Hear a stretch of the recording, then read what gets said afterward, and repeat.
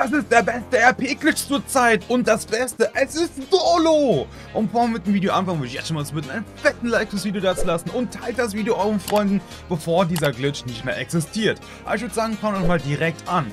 Was braucht ihr für diesen Glitch? Nichts braucht ihr, das ist das Geile. Ihr müsst einfach in irgendeiner scheiß GTA Online-Sitzung sein. Seit es in der GTA Online-Sitzung müssen wir etwas suchen namens Piote-Pflanze. Hier habt ihr eine Karte, es gibt insgesamt 76 Stück.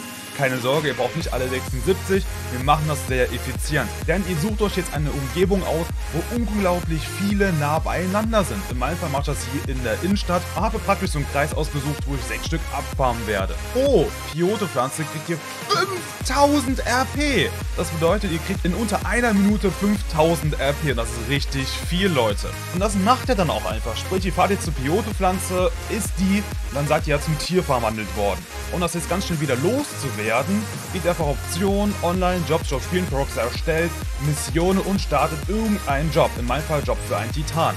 Und geht aus dem Jobmenü einfach wieder raus, denn dadurch spawnt ihr wieder als Charakter direkt an der Stelle und könnt direkt zur nächsten Pflanze und die nächsten 5000 RP abfahren. Und ja, das geht wirklich. Und was ist, wenn ihr jetzt eure Route beendet habt? Naja, ganz einfach, Leute. Ihr wechselt kurz mal einen Auftritt, damit das wirklich auch gespeichert ist und startet einfach GTA neu und macht es von vorne. Und ja, Leute, das ist wirklich so einfach. Das ist unglaublich krass. Deswegen macht diesen Glitch, bevor es gepatcht ist.